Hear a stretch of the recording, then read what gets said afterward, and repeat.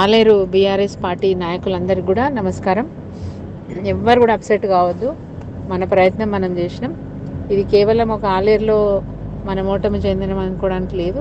రాష్ట్రం అంతటా కూడా నష్టం జరిగింది మన పార్టీకి. కాబట్టి దాని గురించి పెద్దగా ఆలోచించొద్దు. ఈరోజు బీఆర్ఎస్ పార్టీకి పడ్డ ఓట్లన్నీ కూడా క్యాడర్ ఓట్లే. హండ్రెడ్ పర్సెంట్ క్యాడర్ ఓట్లే.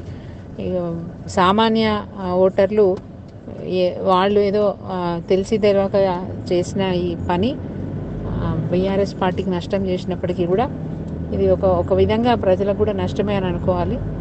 కేసీఆర్ గారు చేసిన పరిపాలన కాంగ్రెస్ పార్టీతో కాదని మీకు తెలుసు నాకు తెలుసు కాబట్టి ఎవ్వరు కూడా అప్సెట్ కావద్దు.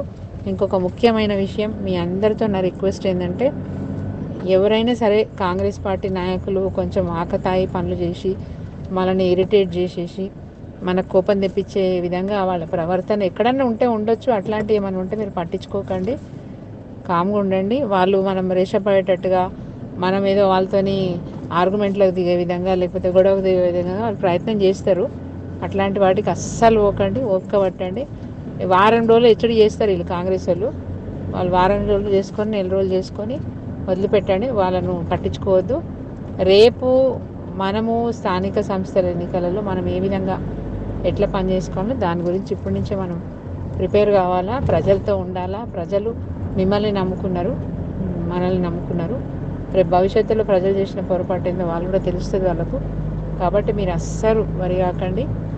మనం ఇట్లే ప్రజాక్షేత్రంలో ఉండి పనిచేద్దాం ఎవ్వరు కూడా నారాజ్ కావద్దని చెప్పి మీకు రిక్వెస్ట్ చేస్తున్నాను ధైర్యంగా ఉండండి. ఇంకొక గమనిక మనల్ని వీళ్ళు మోసం చేసిండ్రు వాళ్ళు మోసం చేసిండ్రు వీళ్ళు ఇట్లా చేసిర్రు వాళ్ళు అట్లా చేసిర్రు మన పార్టీ క్యాడర్ని మనమే అస్సలు విమర్శించుకోవద్దు. దయచేసి గమనించండి. మనకు నష్టం జరిగితే ఏ ఒక్కరి వల్ల నష్టం జరిగింది అనుకోవడం తప్పది. ఎందుకంటే రాష్ట్రం అంతా కాంగ్రెస్ పార్టీ వైపు ఒక తీర్పునిచ్చినప్పుడు ఆలేరులో తప్పు జరిగింది అనుకోవడం పొరపాటు. జరిగిన దాని గురించి కాదు రేపు జరగబోయే భవిష్యత్తు కాలాన్ని ఎట్లా ఎదుర్కొందాం అనేది మనం సైనికులాగా ఆలోచన చేసి ముందుకు వేయాలి తప్ప ఇక్కడితో ఏదో అయిపోయిందని అస్సలు ఎవరు కూడా ఫీల్ కావద్దు. జై తెలంగాణ జై కేసీఆర్.